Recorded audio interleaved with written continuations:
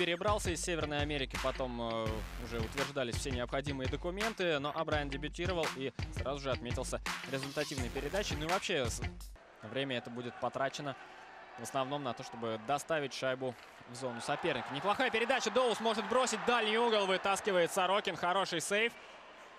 Выручает свою команду Илья Сорокин. Много слов о нем уже было сказано после старта регулярного чемпионата. Купер 36-й, Талгат Жайлауов под восьмым номером и Константин Романов 85-й. Получает шайбу, передача под бросок. Старченко бросает, Сорокин не видит шайбу, но никто не добивает ее. И теперь уже в обводку пошел Михаил Плотников. Опасный момент у ворот Яна Лацо. На месте словацкий голкипер. Э, Стало известно о том, что Федор Полищук получил травму. Нападающий Бориса пропустит э, несколько недель. Сорокин отбивает шайбу. Комарист ее подхватывает.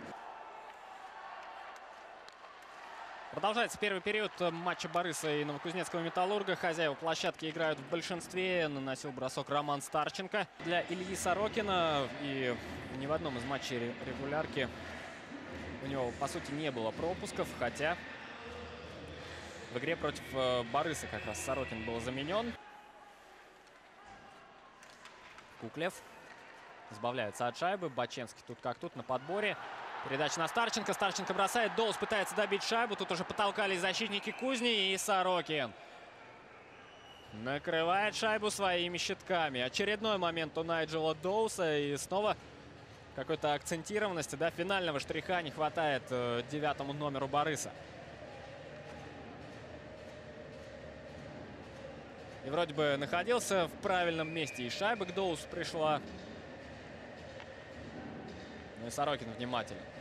Комаристый приехал на подмогу своим защитникам. и Мы очень много пропускаем, нам сказали поменьше шайбы в своей зоне играть и больше бросать, как, как у них первое звено. Они со всех позиций бросают, лупят ее куда попало. Какая-нибудь шальная это залетит. 25 секунд на большинство есть у Бориса. Доус подхватил шайбу, и значит, что эти 25 секунд можно провести довольно продуктивно. Маченский замахнулся, бросил подставлена клюшка и добивание. Но Сорокин перекрывает низ ворот. Включились в борьбу и защитники там.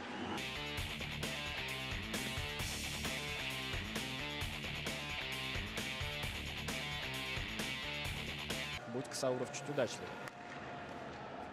На правом фланге Касауров. Не самую точную передачу получил, но в ситуации разобрался. 100 на пятачок Касаурову. И вот сейчас может добивание получиться уже у Кузни. Не прижата шайба. И звучит свисток арбитра. Плохая комбинация. Касауров в одно касание возвращает шайбу Райану 100.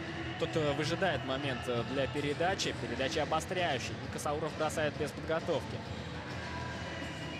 Довольно свободно себя действуют, э, себя чувствуют игроки Металлурга вблизи у ворот Яна Лацо, хотя первого звена, ну, впрочем, как и в предыдущие годы.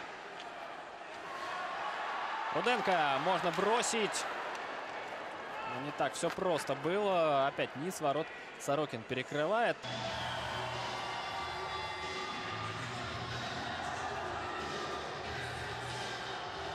Выигрывают и сразу же отправляются вперед. Мальцев. Передача назад. Под бросок ведет борьбу на пятачке Сентюрин. А тут нарушение правил, судя по всему. Лежит на льду Капотов. И катит на скамейку под аплодисмент. Может быть и не будет нарушения здесь. Да, силовой прием Пушкарева. Здесь, в принципе, все по правилам было. Поначалу показалось, что, может быть, э, попал там клюшкой Пушкарев. э, Но нет, все чисто, все в пределах правил. Хотя, э, четыре, вернее, ничейных результатов, прошу прощения, у Борыса. Одна победа у Кузни. а также два поражения и три ничьи. Неплохой момент возникает у Томаша Рахунека, который по-прежнему игроки как Доус бросают. э, можно ждать всего чего угодно. Баченский, Антропов.